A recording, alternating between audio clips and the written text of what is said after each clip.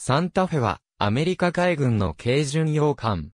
クリーブランド級軽巡洋艦の一隻。艦名は、ニューメキシコ州サンタフェにちなむ。サンタフェは1941年6月7日に、ニュージャージー州カムデンのニューヨーク造船所で寄港した。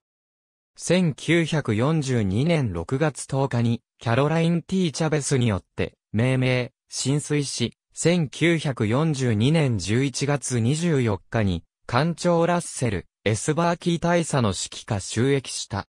東海岸での成長後、サンタフェは太平洋に向けて出港、アリューシャン列島に向かう途中の1943年3月22日に真珠湾に到着した。アラスカ到着6日後の4月25日、サンタフェはアッツ島への砲撃を行う。その後4ヶ月にわたって日本軍へ対処するためアリューシャン列島の偵察巡移行に従事した。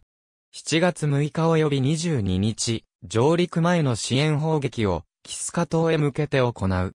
キスカ島への上陸は8月15日に行われた。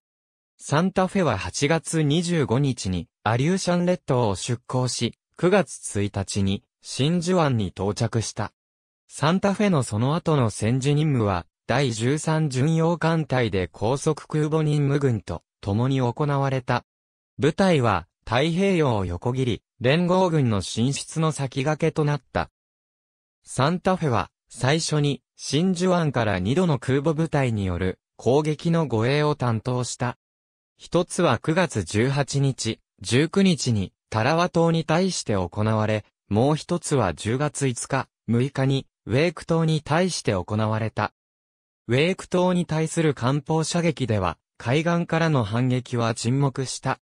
サンタフェは10月21日に空母部隊と共に真珠湾を出港したが、ブーゲンビル島への補充部隊を輸送する船団護衛任務のため部隊から分離した。11月7日に到着し、続く2日間は敵機による激しい航空攻撃を退けた。短期間の停泊後、11月14日に、エスピリトゥサント島に向けて出港、ギルバート諸島に向かう、船団護衛を行い、11月20日から22日まで、地上部隊の支援として、タラワ島への砲撃を行った。11月26日、サンタフェは再び高速空母部隊と合流し、12月4日に、クエゼリン艦将に対して、攻撃を行う3隻の航空母艦を護衛、その5日後に、真珠湾に帰還した。同年末、サンタフェは帰国し1944年の最初の週は、カリフォルニア州サンペドロ沖合での揚陸訓練に従事した。1月13日に出港し、任務部隊と共にマーシャル諸島に向かう。29日には、ウォッチェ干渉で上陸前の砲撃を行う。翌30日の午後にサンタフェは、クエゼリン干渉沖合で、主力部隊と合流し、31日と2月1日は、上陸部隊の支援射撃を行った。サンタフェは2月7日に、マジュロ干渉に到着した。5日後、サンタフェは、トラック島攻撃を行う高速空母部隊と共に、出撃し、2月16日及び17日に同島を攻撃、22日にサイパンを攻撃した。その後マジロを経由してエスピリットサント島に向かう。3月15日に再び出港し、エンタープライズ及びベローウッドの護衛を担当した。2隻の空母は3月20日にエミラウ島への上陸支援及び3月30日から4月1日にかけてパラオ、ヤップ、ウォレアイ干渉への攻撃を行った。4月13日、サンタフェはホーネット任務軍と共に出港し、ニューギニアのホーランディア侵攻支援を担当した。21日には、ワクデ島及び、サマール島への航空攻撃が行われ、翌日には上陸支援のため水上艦艇による艦砲射撃が行われた。上陸支援任務は4月28日に解除され、空母部隊は29日及び5月1日にトラック、島、サタワン島、ポナペ島を攻撃、4日にクエゼリン干渉に帰還した。サンタフェはバンカーヒル任務軍と共にマーシャル諸島を出撃し、サイパン島上陸支援のためサイパン、ティニアン、グアムに航空攻撃を行う空母の護衛を6月11日から16日まで行った。しかしながら、マリアナ諸島防衛のため日本艦隊は、同海域に急行した。6月19日の朝、日本軍の空母艦載機部隊は、第5艦隊を攻撃した。サンタフェの艦砲は、アメリカ軍機が日本軍機と交戦する間、空母の護衛として起用した。夜の間から翌朝にかけて、第5艦隊は交代する敵艦を追撃し、午後には捕捉した。銅やサンタフェは、日本の潜水艦による攻撃の可能性を無視して、艦載機部隊が空母に着艦するのを誘導するための照明を照射した。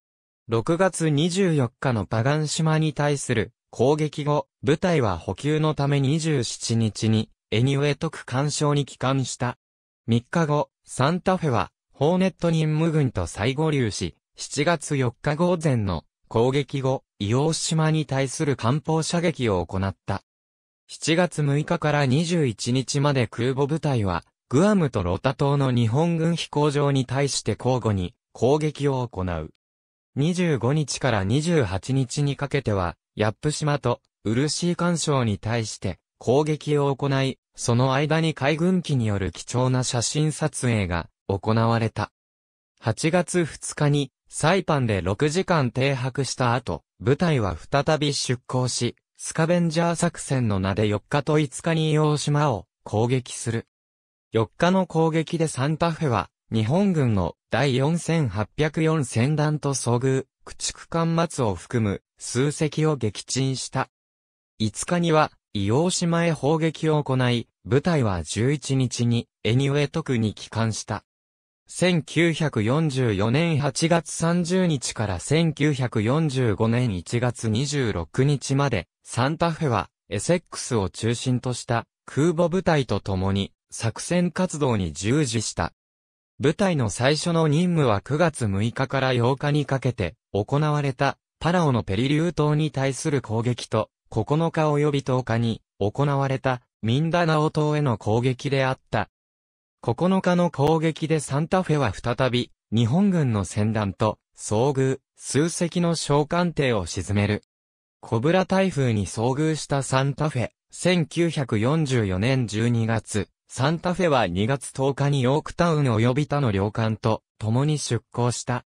2月16日及び17日、部隊は関東地方の飛行場に対する攻撃を行い、硫黄島上陸の障害となる航空機を破壊した。